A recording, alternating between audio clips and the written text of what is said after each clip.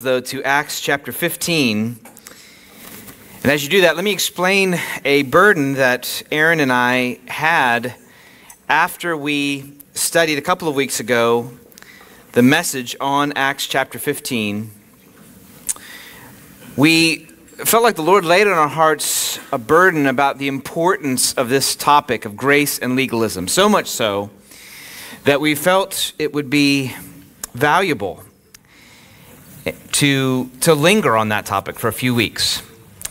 Uh, we, we obviously are in the middle of a series in Acts. We'll continue that effectively in the new year. We're going to have a couple of weeks looking into, in more detail, some of the application points that I brought up last week. So, if you remember last week, I talked about the, the importance of upholding, defending grace, that being a key theme in Acts chapter 15 with this great council in Jerusalem. And I talked about how one of the ways, a number of ways that we do that, is we uphold grace in how we read the scriptures, especially the Old Testament. We uphold grace in our relationship with God and our view of godliness and how we relate to others. Well, we want to take a number of weeks to look at those different topics, to allow this topic of the grace of God to press deeply into our hearts, into our thinking, to evaluate whether it is truly a grace centered Christian life that we are living? Is it, is it affecting the way we think in terms of these details? And we, we just felt like, with especially those four different categories, they're, they're just so important, they're so central. That, that we didn't want to keep moving without lingering and studying them in more depth. So, this morning, we're going to look at that first topic that we uphold the, the grace of God, in particular in how we read the scriptures and especially the Old Testament. So, we want to study that this morning. We want to look at that in detail. So, just to remind you a little bit, I, I, just want to read one verse, very precious verse out of Acts 15. Acts 15 11. If you remember, the context is there has been this demand that the Gentiles be circumcised and fulfill, obey the full law of Moses. There is an argument going on in Jerusalem among those who oppose and say that that is not God's will for them. And Peter stands up in that hall and speaks a number of words against that demand. And at the conclusion, uh, he says this very, very precious word in verse 11. But we believe that we will be saved. And here's the key phrase. I'll pause a moment. Or longer than a moment, or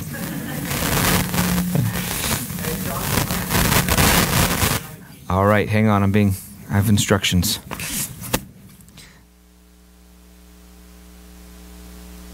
Struggling as well. Is that better? Is it all fuzzy and messed up and everything, or is it okay? Much better? Okay, all right, hang on. Let me take this whole contraption off me. All right.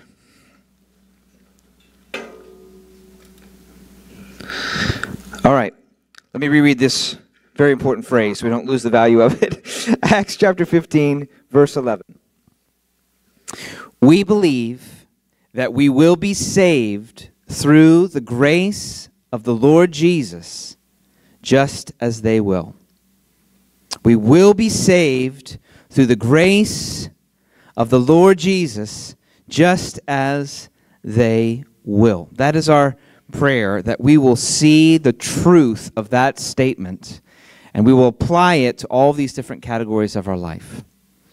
So, Lord, I pray that you would bless this little mini series that we feel you have led us to do. Help us to see the glory of your grace, to trust it fully and completely. In Jesus' name, amen. Have you ever had one of those nagging thoughts uh, right before you drift off to sleep uh, that maybe your door is not locked or something is still on in the house. Uh, I, I, have that kind of thought all the time. And you're, you're there, at least in my experience, I argue with myself about it. And I say, no, I'm sure, I, certainly, I locked the door. I, I, I'm sure I did. I would not have come upstairs without locking the door. I think I did. And usually it's a futile argument because usually I'm there and I'm trying to drift off to sleep, and this nagging thought just keeps coming into my mind what if you didn't? And probably nothing would happen, but there's a sense of vulnerability, right? What if you didn't? What if you're imagining it?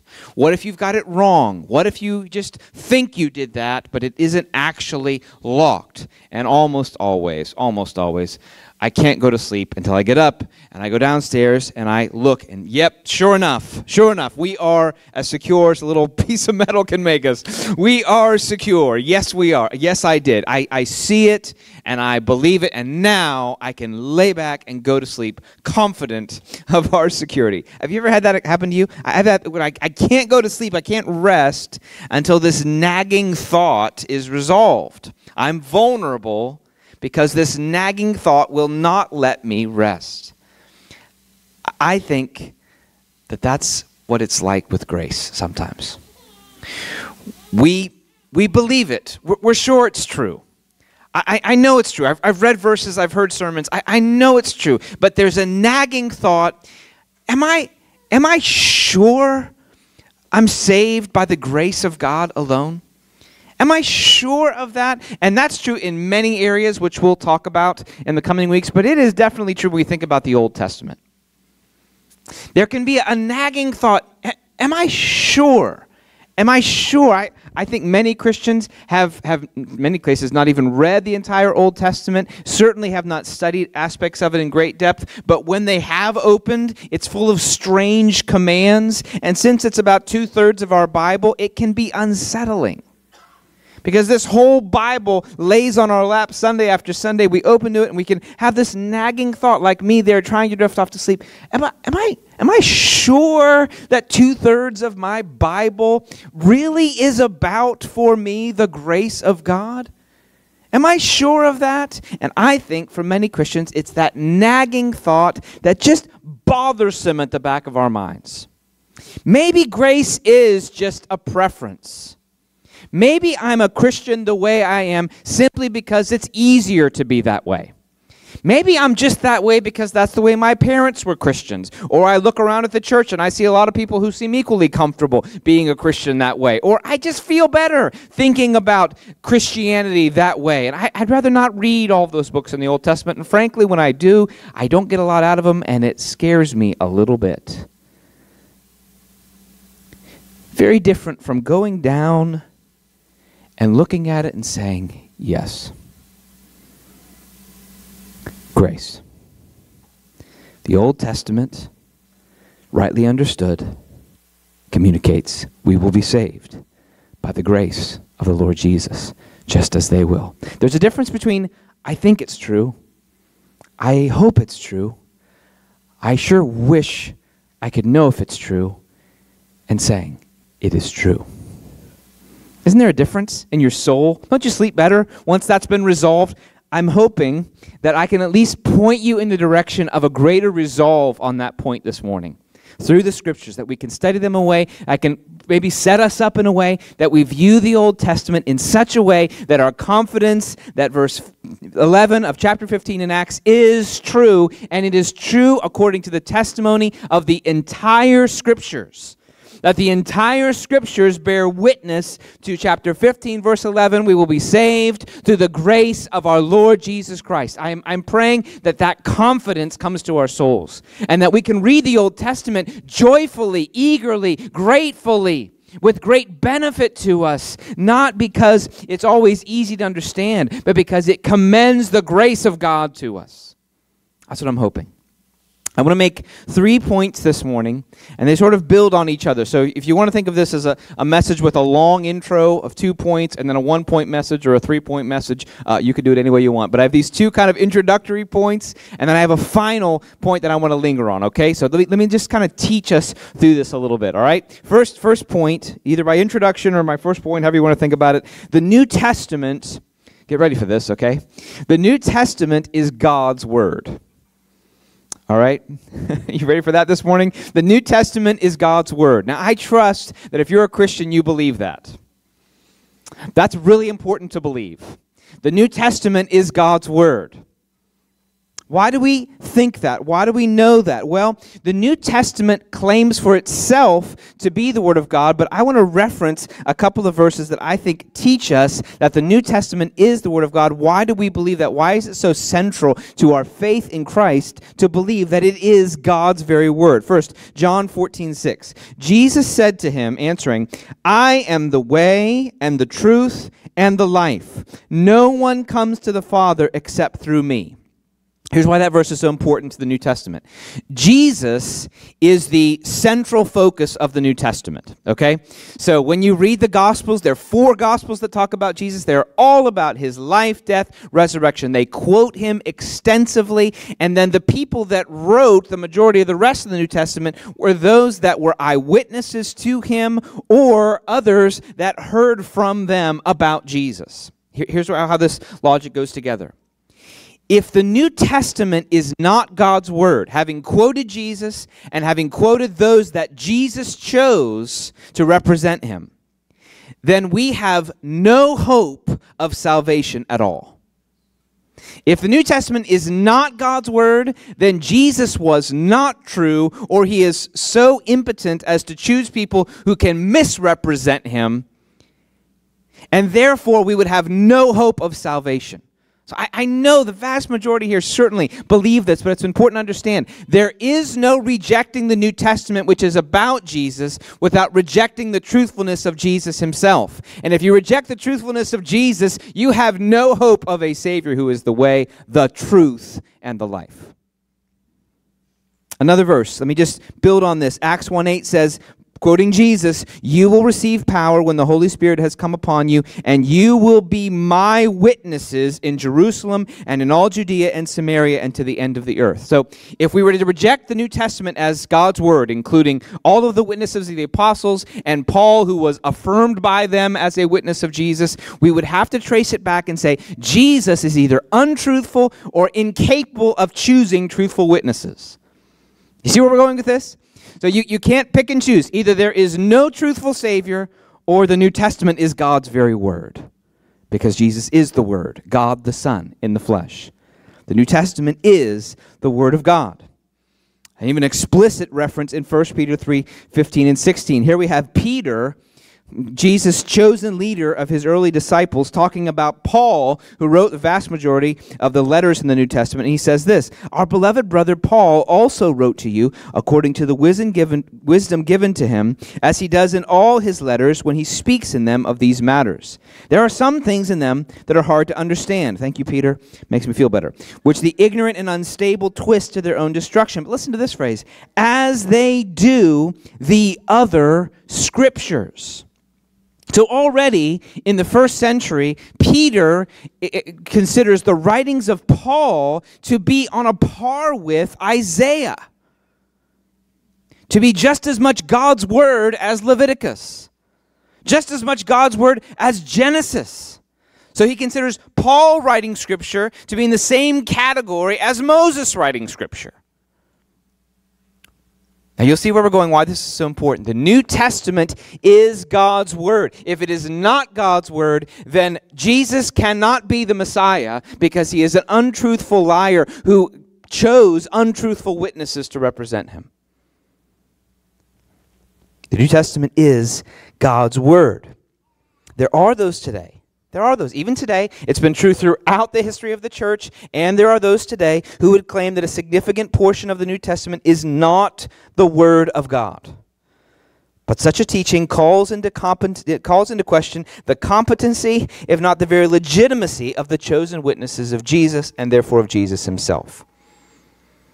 The New Testament claims to be representing God. Since Jesus is God the Son, the Word of God, and since he handpicked his witnesses, and since the early church bore witness to these writings being clearly, clearly the self authenticating Word of God, when we read Mark and Luke and Matthew and John and the quotes of Jesus and the letters of Paul and the Apocalypse of John and all the rest, we are reading God's Word to us. The New Testament is the Word of God. Now, fix that in your mind. Remember, we're down there staring at the door, right? We're getting somewhere. We're getting somewhere, but fix that in your mind. The New Testament is the Word of God. God who knows all things, who knows the Old Testament, who knows the New Testament, who knows the future, who knows the past. The New Testament is God's Word. Point number two the New Testament regularly tells us how to interpret the Old Testament for today. The New Testament regularly tells us how to interpret the Old Testament for today. Now let's let's get this set in our minds. It is God's word. So God is speaking. God is saying this. And regularly, regularly throughout the New Testament, it references the Old Testament and then tells us how to interpret it, tells us how it should be applied and understood today, sometimes in surprising ways. But it claims to have the right to say to us, here is how you understand the Old Testament scriptures for today. And it is God saying that to us. G.K. Beale, a author I would recommend to you on this topic especially, says one writer has counted 295 separate quotations of the Old Testament. These are quotations of the Old Testament in the New Testament, including quotations with and without formulas. These make up about 4.5% of the entire New Testament, about 352 verses. Thus, one out of every 22.5 verses in the New Testament incorporates a quotation. The New Testament writers believed that the Old Testament was the Word of God and that they were given authority to interpret it for our situation today. Beale also says there is anywhere from 600 to over a thousand. Some people claim multiple thousand allusions to the Old Testament. We might think of places where images or concepts are used, even if a direct quotation is not. So you might think of John the Baptist declaring to the crowds, Behold, the Lamb of God who takes away the sins of the world. Obviously, an allusion to the Old Testament, though he's not directly quoting something. Let's think of some of the examples of how the New Testament regularly tells us how to interpret the Old Testament. We have specific passages and their ultimate purpose. So, very familiar in this time of year, the birth of Jesus. Speaking about Jesus' birth, Matthew 1 22 to 23 says, All this, all this about Jesus, took place to fulfill what the Lord had spoken by the prophet Behold, the virgin shall conceive and bear a son, and they shall call his name Emmanuel. So, here you have Matthew, who is quoting and then applying the meaning of Isaiah to the birth of Jesus. He's saying what God was saying in Isaiah was ultimately fulfilled in the coming of Jesus. That is how we are to read that passage in Isaiah today. So it's claiming the right to interpret for us an Old Testament passage. Or we have Pentecost, which we recently studied.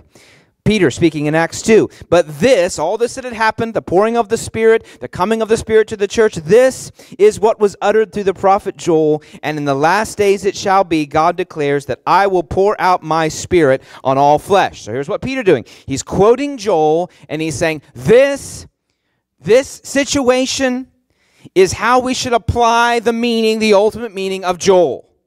So he's preaching. He's preaching from Joel, and he's saying, This is what Joel was talking about. This and not something else. This is the right application of the prophet Joel today.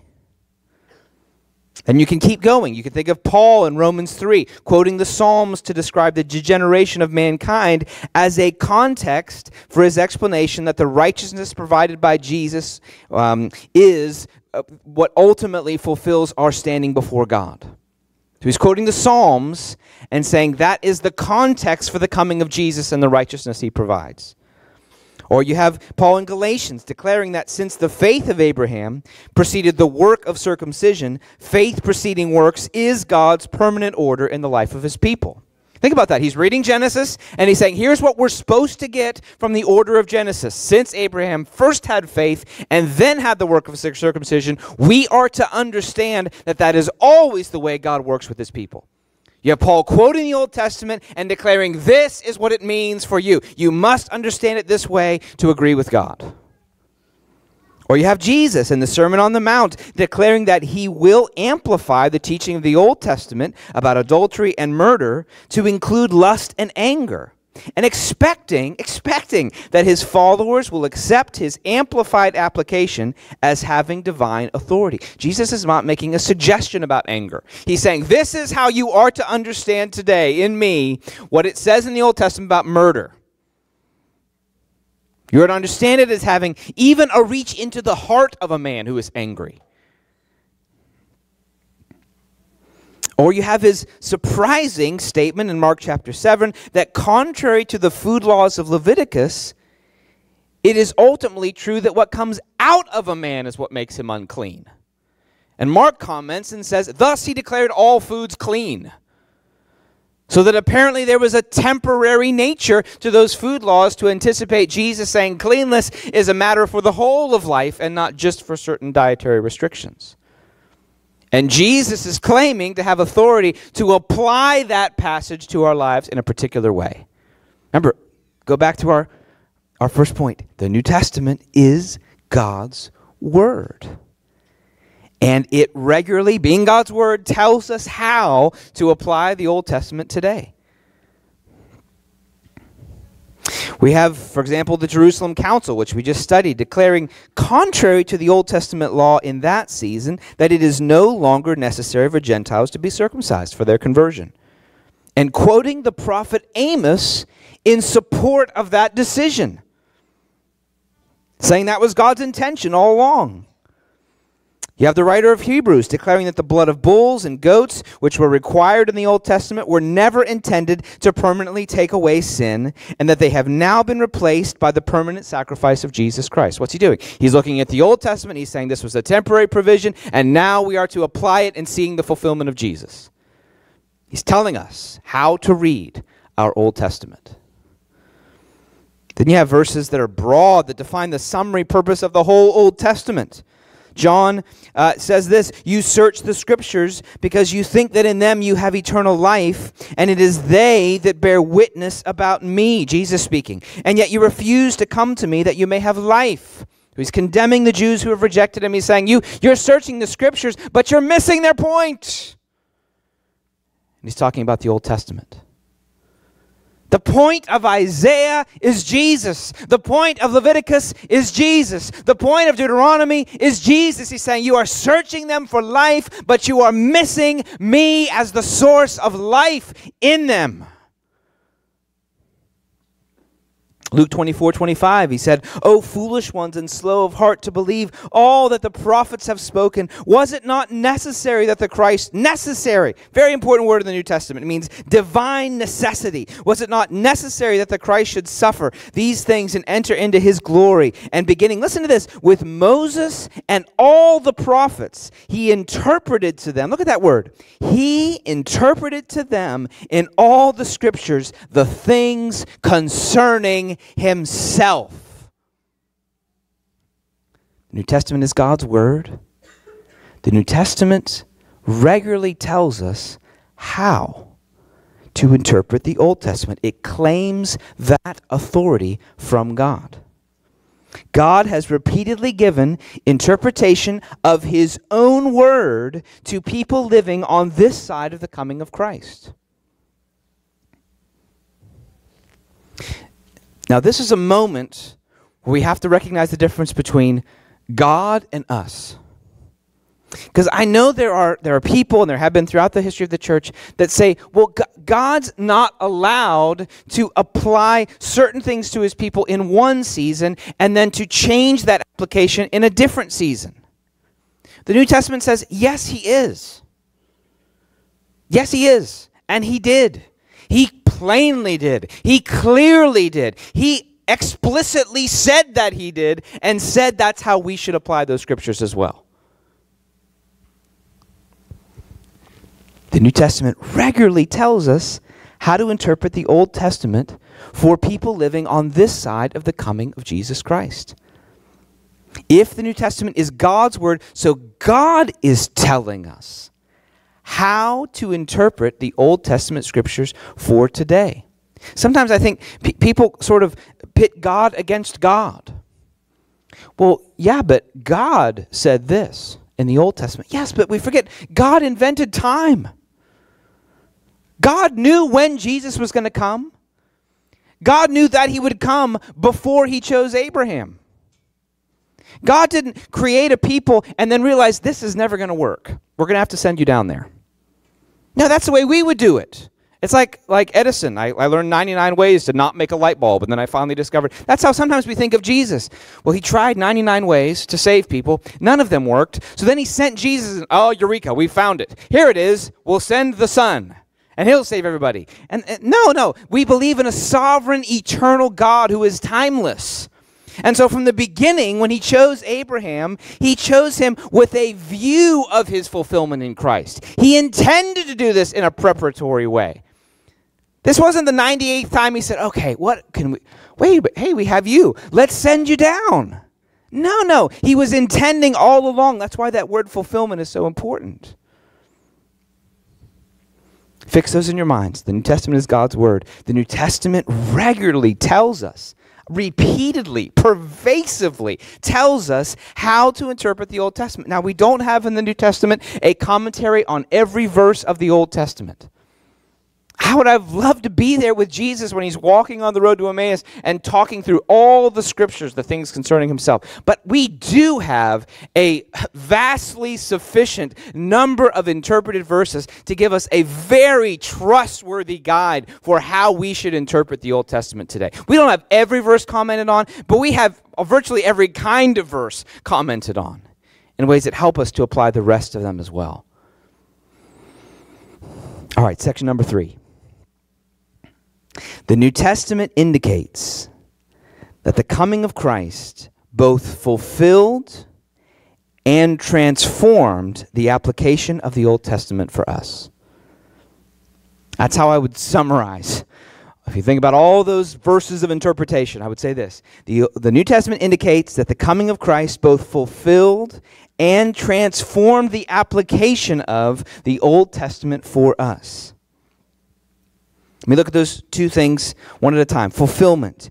The New Testament consistently refers to the Old Testament as anticipating or predicting or preparing for the coming of Jesus Christ. So there is no way you can read the New Testament and say that the coming of Jesus was a secondary plan that was not in view when God laid the groundwork in the Old Testament. You simply cannot believe that and hold to the consistent teaching of the Old Testament or the New Testament about the fulfillment that, that God brought this about to fulfill, to bring to its intended end. The New Testament views the coming of Christ as God bringing about in time the culmination of the plan that he had been laying the groundwork for in all of the scriptures. The Old Testament scriptures were not a prior plan, independent from the person and work of Christ. They were a great divine prelude, complete with patterns and purposes and explicit predictions, all of which would be seen in their glory when the Messiah arrived. The word fulfill, in just the Gospels and Acts, the English word fulfill is used to translate a Greek concept. That the English word fulfill is used 41 times in the Gospels and Acts, and the vast majority of these times it is in reference to the Old Testament pattern of prophecy that anticipated something that Jesus does or that his church does with reference to the work of Christ. Here's the idea when he came, it brought about the era, the situation, the day that God was anticipating all along. In himself and in the result of his work with his people, it brought about the ultimate culmination, the pinnacle of all that God had been preparing for all along. Matthew 5:17 very helpful in this regard. Jesus speaking says, "Do not think that I have come to abolish the law or the prophets. I have not come to abolish them, but to fulfill them." So Jesus corrects two uh, contrary errors. One is the Old Testament speaks to us unchanged by the coming of Christ, or the Old Testament is irrelevant and should be discarded. And we can see both of those tendencies in various sections of evangelicalism. The Old Testament is unchanged by the coming of Christ, or the Old Testament should be functionally discarded because the New Testament is where we really get our meat and our bread. Jesus says, No, I, didn't come to abolish them. I came to fulfill them. So he honors them and he implores us to see in himself and all that he does the fulfillment, the result, the end point, the terminus of all that God had prepared for. So that Jesus is the glory of the Old Testament scriptures and continues to be their glory. So that in them we read of him and we see his glory displayed in countless patterns and predictive prophecies and roles, and we see in him their ultimate fulfillment. And we see his glory in every page of the Old Testament, instructed in their, in, in their interpretation by the New Testament. He fulfilled it in that he was what it predicted. He fulfilled it in that he provided what it revealed that we needed and he fulfilled it by ushering in and making possible its final intended application. Let me give you those three again. How did he fulfill it? How will we explain this based on what the New Testament says in, in its entirety? He fulfilled it in that he was what it predicted, he provided what it revealed that we needed, and he ushered in and made possible its final intended application. He was what it predicted. He provided what it revealed that we needed. And He ushered in and made possible its final intended application. So that its current application has all of the glory of Jesus now bringing the Old Testament scriptures to us in their final, ultimate glory. They had a temporary glory before He came, and there is a final glory for them after he came. They are neither irrelevant nor to be read without reference to Christ. They are fulfilled, such that their temporary purpose of preparing for Christ gives way to their ultimate purpose of being fulfilled in Christ, of showing in great depth and energy the need for and the perfection of His work, and in their heart being seen in a new covenant written on the hearts of God's people.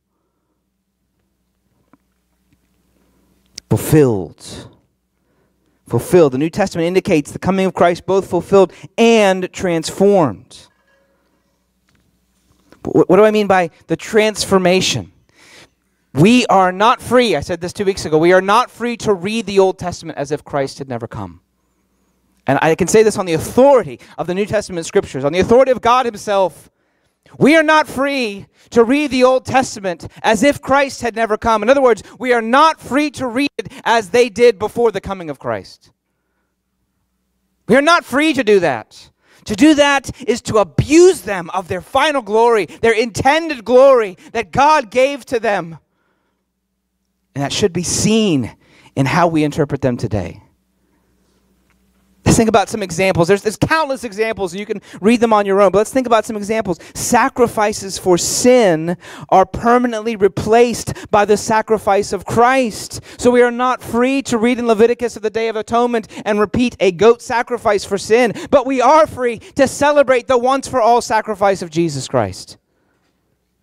Circumcision is no longer to be done for salvation because because we are set apart by belief in Jesus and by the mark of the Holy Spirit.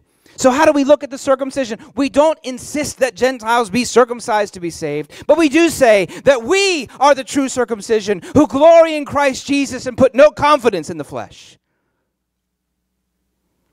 The temple must not be rebuilt because Christ is our temple and he makes his body, the church, into a temple for his spirit. Do we still consider the Passover a required feast for Christians? I would not recommend it because the New Testament says that Christ is our Passover lamb. Now, I'm being careful here. I'm not saying that if you have ever done a Passover feast to remember what happened in Exodus and Israel. No, I'm not saying that's that's sinful in and of itself, but if you view it as required in the way it was required in the Old Testament, you could be neglecting the purpose of it to point to the great Passover lamb whose blood covered over our souls, such that the wrath of God passed over us and was laid on him.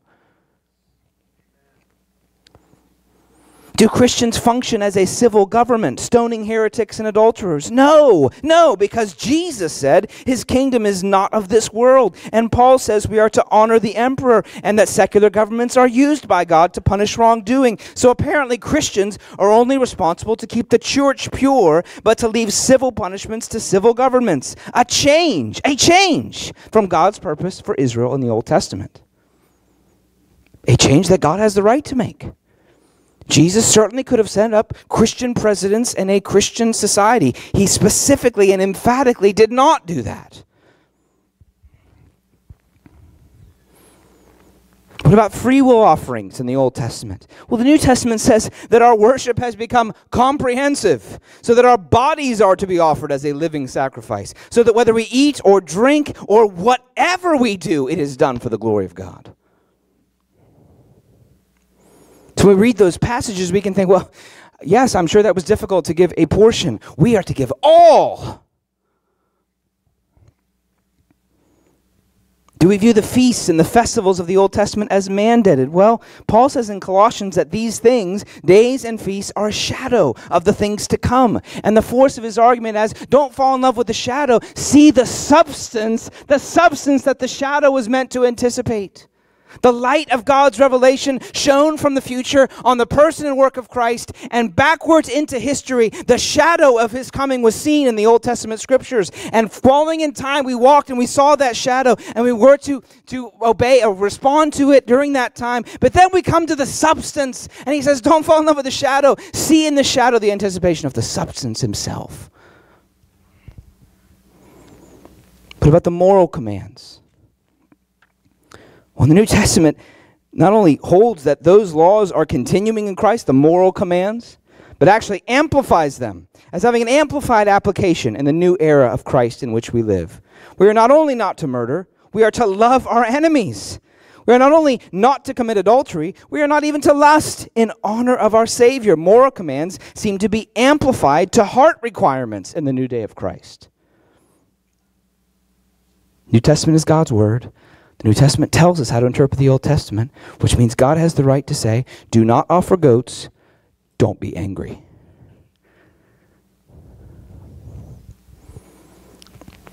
Now, my goal cannot be to go through every point of the law, but to make the point that the New Testament teaches us that the law has been transformed by the coming of Christ Jesus. And when you read the Old Testament with Christ lenses on, oh, they are transformed to show all of his glory. They still motivate us to love God, but they, they do that in a way that is bathed in the light of the glory of Jesus Christ. Now, reading the Old Testament, it's like going back to the island where all the treasure was buried, except that you have the map and the key and even a guide to show all the glorious treasure and where it is. It's a different island now. So when we read that the Lord remembered Noah in Genesis, we bear in mind that God remembered us by sending us a way of salvation from his righteous judgment. Because Peter says, in Noah, there was a metaphor of the coming of Jesus Christ.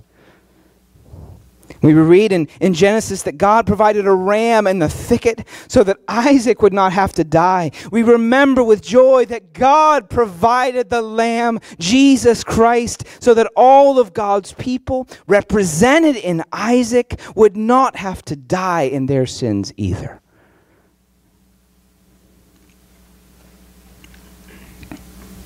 When we read David's prayer in Psalm 51, that God would be merciful to him in spite of his atrocious sin, we remember that God's mercy still comes to us through David's greater son, and that a greater king named Jesus died so that our sin would not keep us forever from God's presence. When we read in Isaiah 53 about the lamb that went silent to the slaughter for the sins of the people, or we read about the countless sacrifices that are represented in Leviticus and how when the priest offers atonement through the death of this animal, they will be forgiven, we think of the great and perfect lamb who went unblemished to the altar of God's wrath on the cross, suffered for my sin and your sin, and there he fully absorbed the wrath of God so that God says to us, Your sins are forgiven.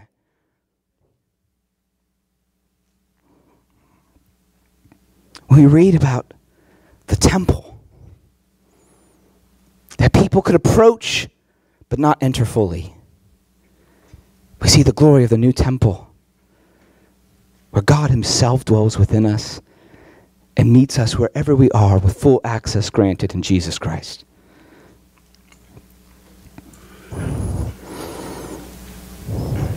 When we read the Old Testament scriptures about a people set apart to be God's precious possession, we don't just think of Abraham we think about how we've been set apart by the blood of Jesus Christ, stamped with the very presence of God, and chosen to be his royal priesthood on this earth. And that because of him, we can draw near by faith, unworthy and undeserving, but clothed in the righteousness of our great high priest, who is much better than Aaron and bears us before the presence of God, unblemished by his own sin, and gives us permanent access there, and will finally bring us there into God's unveiled presence in glory.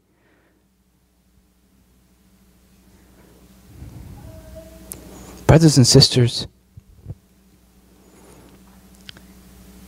if the New Testament is God's Word, and it is, and if it tells us how to interpret the Old Testament scriptures, and it does, then the Old Testament is opened up for us as a glorious treasure house, showing all that Jesus accomplished and did in fulfillment of those scriptures. Now, I am not meaning to say that there are no parts that it's difficult to see exactly how did Jesus fulfill this. And I understand Christians could have legitimate disagreements about some parts of the Old Testament. So, the Sabbath, for example, is the Sabbath like do not murder, it continues, or is it like don't offer the goat anymore? Not tons about the Sabbath. It seems to me as though Paul says in Colossians that it is not to be a required category for Christians. But I understand how people could disagree. Could there be other things that you would look in the Old Testament? Okay, is this, is this a moral command that's amplified, or is, is this a ceremonial command that's sort of done away with or spiritualized in Christ? I understand. There could be aspects that are hard. But the more we study how the New Testament teaches us about the Old Testament, the clearer and clearer we will be, and the fewer and fewer of those confusing passages there will be, and the more and more of those passages that just speak to us about the glory of Jesus Christ and the good news that we have, that we can live trusting and obeying and following Him.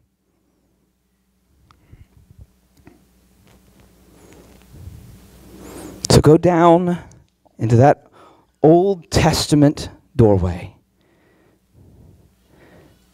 and look at it with the light of the New Testament shining over your shoulder and discover the truth. We are saved by the grace of the Lord Jesus and his coming fulfilled and transformed the Old Testament scriptures, not to abolish them, but so that they can be read in their ultimate glory, their grown up glory, their fully matured glory, no longer treated as a child with a temporary provision, but as an adult, a grown adult shown in their glory in the fullness of Jesus Christ. The goal of all of this, for me, talking about the scriptures, is so that you can rest. So that when that nagging thought comes to mind, Am I sure I'm secure in Jesus? You can say, on the authority of God's word, Yes, I am. Yes, I am. And if you believe in Jesus Christ, yes, you are. If you don't believe in Jesus, that door is unlocked and thrown open to the judgment of your sin. But all you have to do is believe in Him, lay claim on Him, and you are eternally secure forever. So if you haven't done that, join us and do that. It's sweet to sleep and rest your soul on Jesus Christ alone. Charles Spurgeon said, Search Scripture through, and you must, if you read it with a candid mind, be persuaded that the doctrine of salvation by grace alone is the great doctrine of the Word of God. Let's pray.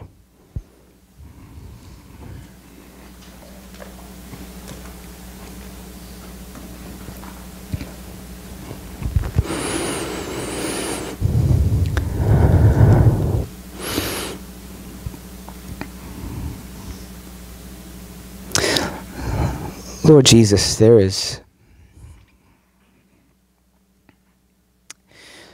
not a one of us who doesn't feel that inner legalist searching around for some way we can make ourselves worthy of you. But Lord, you have forbidden us from doing so. And you have told us by the culminating glory of your word that you have saved us by grace alone, in Christ alone, through faith alone, for your glory alone. And Lord, I pray for this church, my dear brothers and sisters, and for myself, that, Lord, we would rest,